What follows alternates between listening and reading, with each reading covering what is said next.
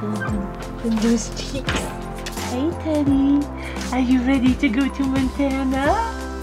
It's your very first trip today. Are you excited? Let's see, you're nine weeks old now and you're about to become a traveler. Your very first trip. right. Just let me go back to sleep. Okay. There, oh, all better. All you want is a nap time, huh? Hi, Theo. Hi, Dad. Daddy's gonna drive in the motorhome, and you and Mommy are gonna drive in the car. I'm me. And you too. Don't forget me. Yes, you're going to with Mommy. And Peggy, baby. Spontaneous here. So, do you want to lead, or am I gonna? Are you go for it? All right. I, I really don't want to be thinking about directions right now. I have two, three little kids in the back demanding stuff, asking me for pretzels and things. So yeah, I don't want to be thinking about directions. All right. Okay? All right. I love you. Love you too. Okay,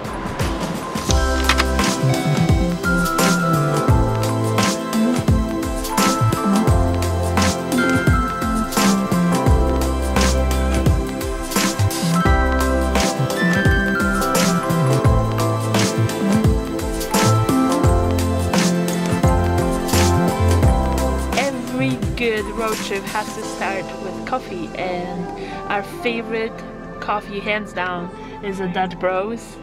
We really love um, this particular stand. We um, got to know the people who work here, and they know us, and so it's always fun to come and, and get a cup of coffee, and especially today because look at that.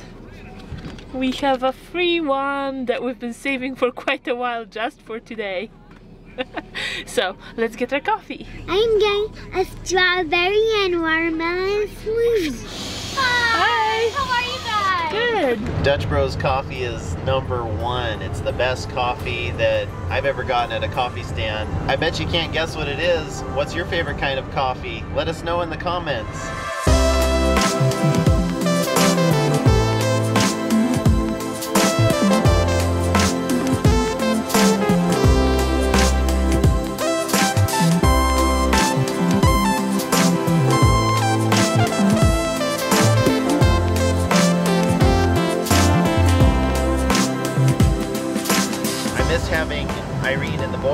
With me in the motorhome while we're driving, but having the extra car, it'll it'll really give us more flexibility in where we can go and where we can park.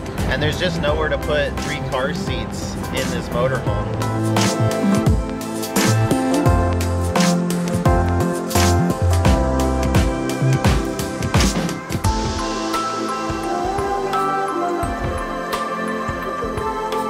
Welcome to Montana.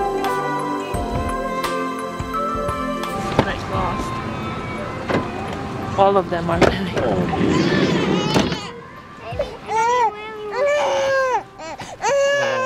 Hi! We made it. We're at our campsite. And I can stretch my legs out front. I'm excited. Yes, you too, huh? Because I am tired of driving Yeah, we drove a long way, huh? Too far. Is Yeah. window? It's getting dark, so we gotta set up fairly quickly, and the boys are antsy and ready to get inside. Hot dog buns. Put out the slides.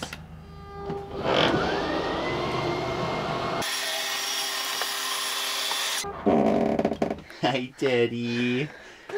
Are you liking your first trip, huh? Your first trip ever.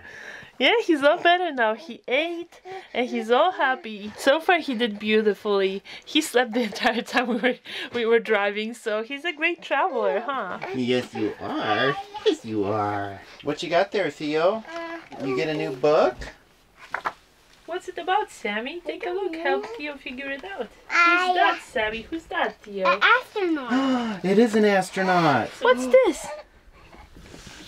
Hey. It's Yeah? about space. When are you gonna read it? Tonight. Yeah, tonight with Daddy. What you doing? Are you organizing your loft? I am fixing this. Okay, how easy was it to put it together again? Um, well, it was fairly easy, but it took me six minutes and 55 seconds to put it all back together. We'll time you next time and see if you Yeah. improved. What's going on? Are you getting hungry again, Bobby? Are you happy to be at our campsite? Yeah. What are you gonna do now? Uh, bye. Play? Mm-hmm. That sounds great. Go play. The nest will be complete. We're playing baby animals. That's a perfect nest for the baby. Yo. We're staying the night at a forest campground called Yaak River Campground. And it's just on the eastern border in Montana next to Idaho. It wasn't where we planned on staying, but it was getting dark and the kids were tired, so we decided to stop here. We plan on getting to Glacier National Park tomorrow or trying to find a boondocking place somewhere around the park. We wanted to go somewhere close by, uh, close to home, so we're just going to be out for a couple weeks. And this is Teddy's first trip, so we're kind of practicing with him. And I think he's going to do just fine. I mean, Theo was, what, three months old when, or two months old when we first took him on a trip and we went all the way to South Dakota Yeah, five states. from Washington. And we thought Glacier would be a great destination because we live like four hours away and we've never been. I mean, that's kind of embarrassing, right? so we thought, hey, it's a great place. And this year, thankfully, they didn't have big fires like last year. And so it, it should be beautiful. Maybe we'll see some autumn colors and we'll see what Glacier is all about. Gonna get your jammies on? Gonna get your jammies on? Are you ready for bed?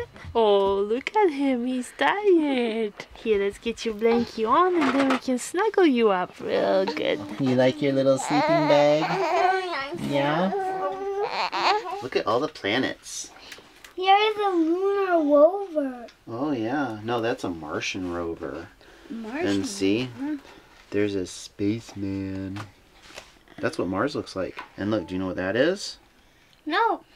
That's a galaxy. That's how big the sun is compared to all the planets. See? And this little one right here, that's the Earth. The Earth is teeny. Teeny tiny. And see how big Jupiter is? Yeah. You can hardly see it. Yeah.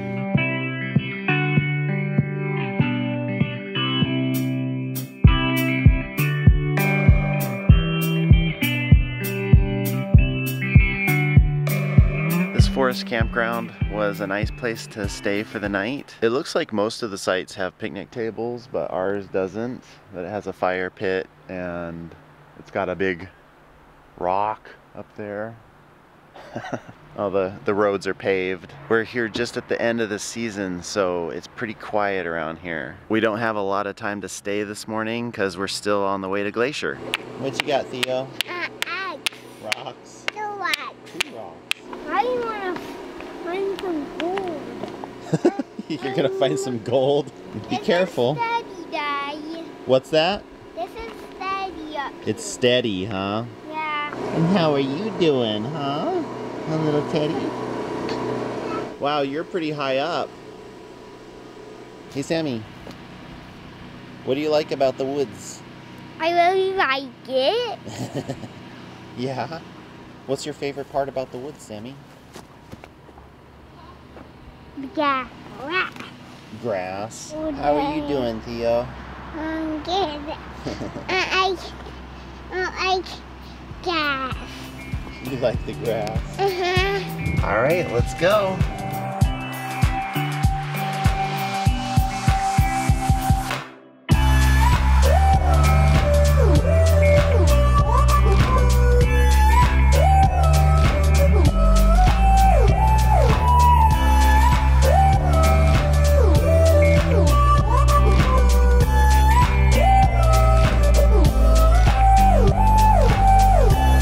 Made it to Kalispell and hot dog buns. Hey Teddy, how do you like traveling, huh?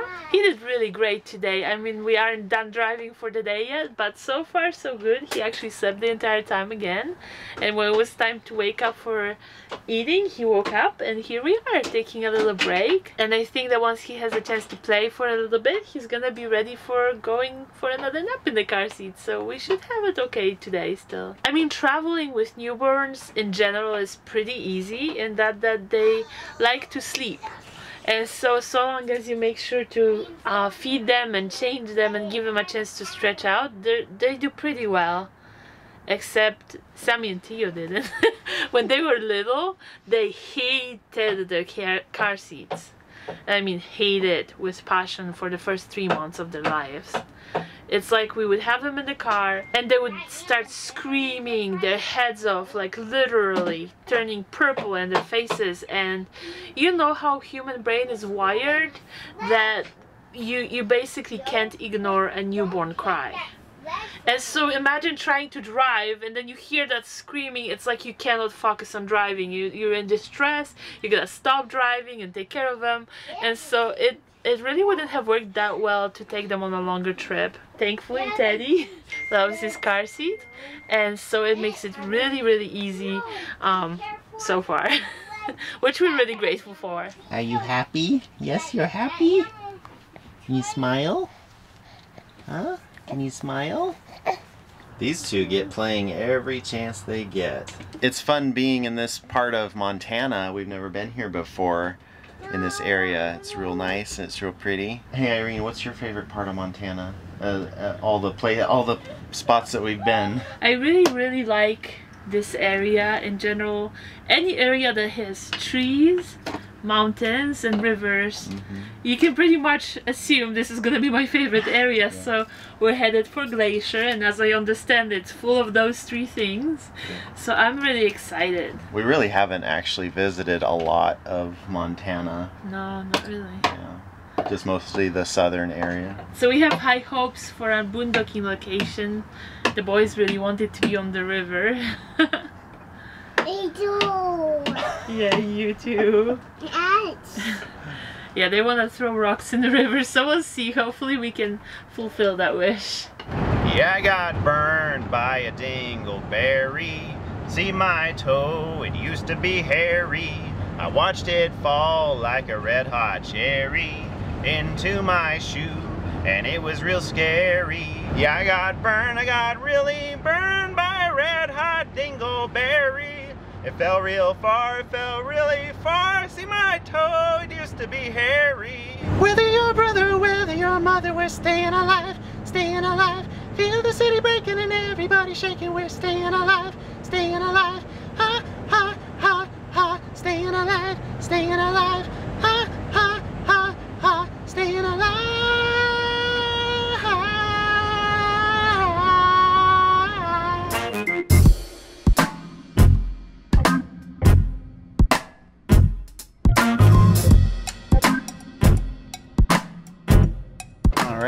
Found a place to stay the night. oh, pretzels.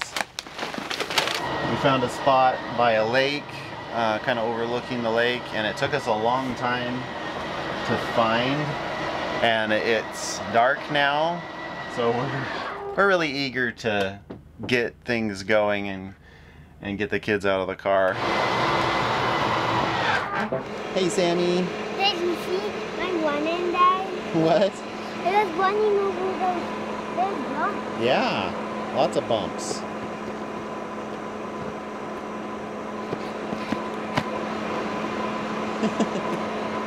Are you happy? Yeah. How did Teddy Boy do? Um, let's just say he was done about half an hour before we found this place. He's content now. He just needed to eat. Hey, Theo. duck. You ready to get out? What? at duck. Duck wheels? Yeah. I don't know what that is. Cutie. Well, it feels good to be parked for the night. Oh, yeah. It definitely does. I mean, my least favorite thing about RVing is when you have to travel to a spot that you don't know what it is. Like in boondocking, you know, you can do all the research ahead of time, but at some point you still gotta go and find the place for yourself. And as we found out yet again, sometimes that place just does not exist. and so the worst thing is going to a spot you thought you knew, not having that spot, and then driving until really late with cranky boys in the car, in the dark, trying to find somewhere to stay for the night. I think that's my least favorite thing about boondocking and RVing probably also. I'm sorry for the monologue, but I really feel passionately about this. You asked. You asked if I was happy to be here. Ooh, what are we having? Ah, hot dogs. Don't touch. Hey. How old are you now, huh? Are you two months old? Two months? Can you say I'm two months old? You can say, "Ah, I'm two months old." You can say, "Ah, I'm two months old." Yes. Hmm, not too wrinkled. Okay, that's a little too hot. What are you drinking? Uh, coffee. Coffee? It's ten. It's almost. I'm not gonna say what time it is. It's really late. It's well, you know what? Once in a while, there comes a day when you just need one before bed. Okay, it's not really coffee actually. It's just like this coffee-like drink. You know, the sweet, yummy, delicious thing with no caffeine in it. But it's hot and it feels really good right about now. oh, it's been a rough day. Hey, there's one for you over there on the Oh, table. thank you. No, Thank you. Um, that window is really dirty. Wow, yeah. What's that? Um, probably sawdust or something. Wait, that's not my fault then. we do clean in this motorhome. Been doing lots of remodeling and lots of sanding and making dust, and everything's just coated with dust. Right. And that's why also it's just partially why we wanted to come to this trip. It's just because we've been pushing so hard to finish this project, the loft, and it's finally finished. But now we just feel like we need a break. We just want to relax and actually live a normal life for a bit. yeah. So that's why the coffee, you know. It's late, but it's been a long day with little kids in the car. And we finally made it, and they're happy and they're winding down for bed. And it's a perfect time to enjoy a cup of coffee. Not coffee, Just a dog. coffee like drink. okay. All right. Call it whatever you want. Is it coffee if it doesn't have any caffeine in it? And really no coffee bean probably either. I'm sure it has caffeine in it. It's just like syrup and milk and Those places in sugar. It doesn't really taste like coffee though. no, see? It more tastes more like cocoa. Yeah, kind of like flavored cocoa, Yeah. but it does say coffee it, so whatever. anyway, we're tired apparently, kind of going on a tangent here. Okay. We we promised ourselves that we wouldn't do any any more 10 p.m. monologues, but because I have to edit all that out. I like w- if we go too late and just sit down in front of the camera, like what we're doing right now. It's a moment of uh, truth. When I'm editing the video, I end up cutting out like 10 minutes worth of footage and just keeping like a few seconds of our monologue. Well, hey, but isn't that true? Like, don't you don't you think so? That at night it's like the best conversations ever happen late. That's true. I get a lot of inspiration at night. and it's always fun to visit and you know if you like uh, have people over really late it's like the best conversations always start late it's like before it's like chit chat and Oh, then everybody gets inspired yeah there he is he's getting ready for bed too he did really good though oh oh but he's saying he's saying hey it's time to say bye bye Aww. Yep, it's time to say bye-bye. All right, we're gonna see you next time. Bye. Bye. Bye bye. Bye bye. Bye bye.